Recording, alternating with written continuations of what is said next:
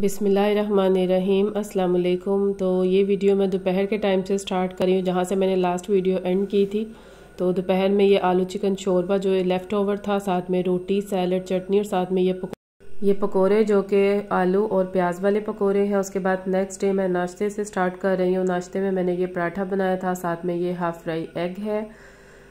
साथ में ये वही लेफ़्ट ओवर पकौड़े हैं रात वाले और साथ में ये गार्लिक मायो इसकी रेसिपी आपको मेरे चैनल यमी हॉट बाइट्स में मिल जाएगी तो आपने इसको लाजमी ट्राई करना है। बिल्कुल सिंपल तरीके से बनती है ये। और ये जो कटलेट है, ये आलू चिकन और वेजिटेबल इसमें कुछ मैंने ऐड की हैं। सिंपल तरीके से बनाया तो ये हो गया जी मेरा ब्रेकफास्ट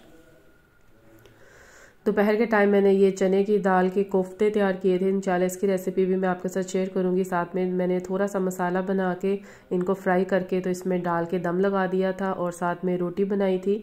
साथ में सैलड चटनी और रात को मैंने ये सैंडविच तैयार किए थे। ये मैंने दाल के कटलेट जिसकी रेसिपी आपको मेरे चैनल यमी हॉट बाइट में मिल जाएगी तो मैंने वही तैयार किए थे। यानी घर में मैंने दोबारा से उसको कटलेट को बनाया था और उसी से मैंने ये बड़े टेस्टी सैंडविच रेडी किए हैं, काफ़ी टेस्टी हैं। इसकी रेसिपी मैं आपके साथ जल्द ही शेयर करूँगी कि ये आपके साथ शेयर करूँगी। तो आपने इसको लाजमी देखना है। मैंने एक दो तरह के पहले भी सैंडविचेस तैयार किए हैं। मतलब घर में पहले कटलेट रेडी किया, बाद में उससे आप सैंडविच रेडी कर सकते हैं। तो मैंने दो तीन वीडियोस यमी हॉट बाइट्स में शेयर की हुई हैं। तो आपने लाजमी विज़िट करना है और उन रेसिपीज़ को लाजमी ट्राई करना है। और आपने करना है मेरे चैनल को सब्सक्राइब, वीडियो को like, comment and share. Thank you, Allah हाफिज़।